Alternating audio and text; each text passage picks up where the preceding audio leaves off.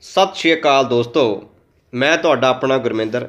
ਗੱਲ ਕਰਨ ਲੱਗਿਆ ਉਹਨਾਂ ਸੱਜਣਾ ਦੀ, ਜਿਨ੍ਹਾਂ ਨਵਾਂ ਨਵਾਂ ਬਦਮਾਸ਼ੀ ਵਿੱਚ ਪੈਰ ਧਰਿਆ। ਸੋ ਸਿਆਣੇ ਕਹਿੰਦੇ ਆ ਕਿ ਗੁੱਸਾ ਇੱਕ ਪਲ ਦਾ ਹੁੰਦਾ ਤੇ ਪਛਤਾਵਾ ਸਾਰੀ ਉਮਰ ਦਾ।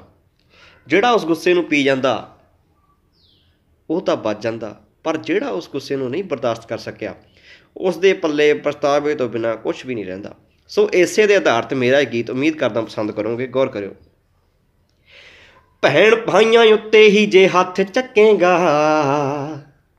ਝੱਲੇ ਨਾ ਬਗਾਨਾ ਜੇ ਤੂੰ ਹੱਥ ਚੱਕੇਗਾ। ਨਵਾਂ ਬਦਮਾਸ਼ੀ ਵਿੱਚ ਪੈਰ ਧਰਿਆ। ਨਵਾਂ ਬਦਮਾਸ਼ੀ ਵਿੱਚ ਪੈਰ ਧਰਿਆ। ਸਿੱਖ ਲੈ ਚਲਾਉਣੇ ਆ ਤੈਦਾ ਸੱਜਣਾ। ਵੈਲ ਪੁਣਿਆਂ ਦੇ ਘਰ ਬੜੀ ਦੂਰ ਬੱਲਿਆ। ਚੁੱਲ੍ਹਿਆਂ 'ਚ ਯੁੱਗ ਪੈਂਦੇ ਘਾਹ ਸੱਜਣਾ। ਵੈਲ ਪੁਣਿਆਂ ਦੇ ਘਰ ਬੜੀ ਦੂਰ ਆ ਚੁੱਲ੍ਹਿਆਂ 'ਚ ਯੁੱਗ ਪੈਂਦੇ ਖਾ ਸੱਜਣਾ। ਹੱਲਾ ਸ਼ੇਰੀ ਦੇਣ ਲਈ ਬਥੇਰੇ ਹੋਣਗੇ।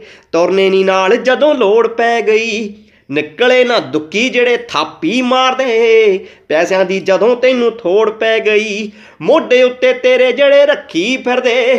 ਕਿਸੇ ਪਾਸੇ ਦੇਣਗੇ ਅੜਾ ਸੱਜਣਾ।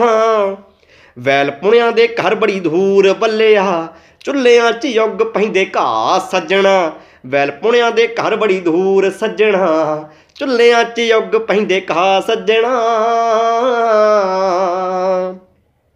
ਜਿਨ੍ਹਾਂ ਨੂੰ ਸੀ ਪਿੰਡ 'ਚ ਬੁਲਾਇਆ ਕਦੇ ਨਾ, ਕਹਿਣਾ ਪੈ ਜੂ ਉਹਨਾਂ ਨੂੰ ਜਨਾਬ ਵੀਰਿਆ। ਜ਼ਿੰਦਗੀ ਨਾ ਮੁੜ ਕੇ ਦੁਬਾਰਾ ਮਿਲਣੀ, ਨਾਲੇ ਬੱਚਿਆਂ ਦੀ ਕਰੇਗਾ ਖਰਾਬ ਸੱਜਣਾ।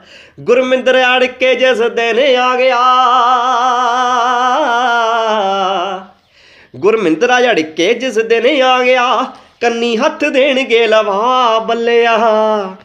ਵੈਲ ਪੁਣਿਆਂ ਦੇ ਘਰ ਬੜੀ ਧੂਰ ਸੱਜਣਾ, ਚੁੱਲ੍ਹਿਆਂ 'ਚ ਯੁੱਗ ਪੈਂਦੇ ਘਾਹ ਵੀਰਿਆ। ਵੈਲ ਪੁਣਿਆਂ ਦੇ ਘਰ ਬੜੀ ਧੂਰ ਸੱਜਣਾ ਚੁੱਲ੍ਹਿਆਂ 'ਚ ਯੁੱਗ ਪੈਂਦੇ ਕਹਾ ਵੀਰਿਆ ਉਮੀਦ ਕਰਦਾ ਪਸੰਦ ਕਰੋਗੇ। ਧੰਨਵਾਦ।